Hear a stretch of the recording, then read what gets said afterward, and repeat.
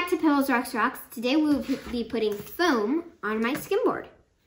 So here's my skimboard. It's a Bellingham Board Co. skimboard and here's my foam. You will be needing a skimboard, sandpaper, rubbing alcohol, some pens to sketch out your design, scrap paper, scissors, X-Acto knife, and foam.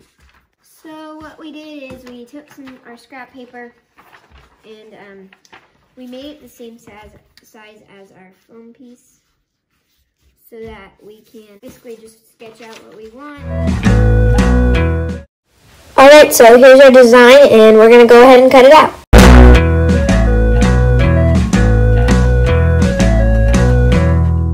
Now we're going to be tracing our thing onto the foam.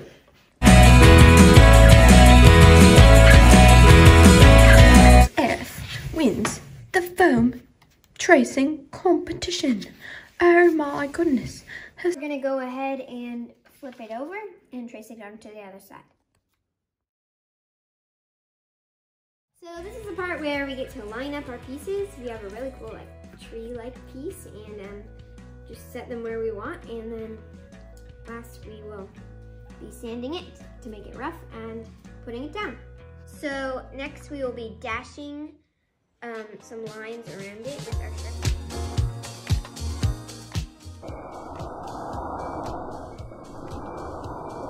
So we did the rubbing alcohol and it does take the Sharpie off, so try to be careful of that.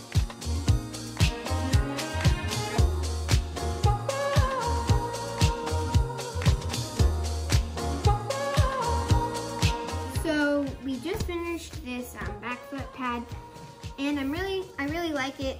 I think it looks really good and the tree, the diamonds kind of make it look more like, pine cones.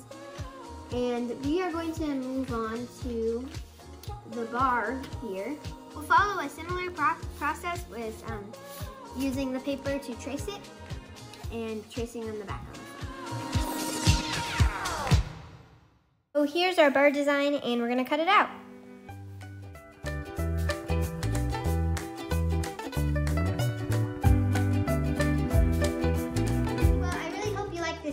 And found some use in it. So I'm really excited to show you the final skimboard and the big reveal. I really like it.